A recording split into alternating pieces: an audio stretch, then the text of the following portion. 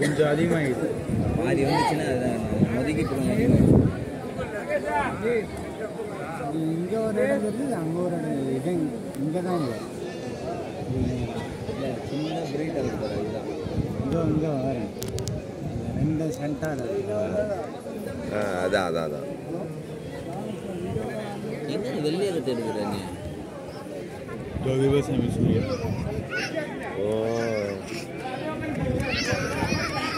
கட்டு கிடையாது இதாண்ட சென்டரில் ஆமாம் சின்னதாக ஒன்று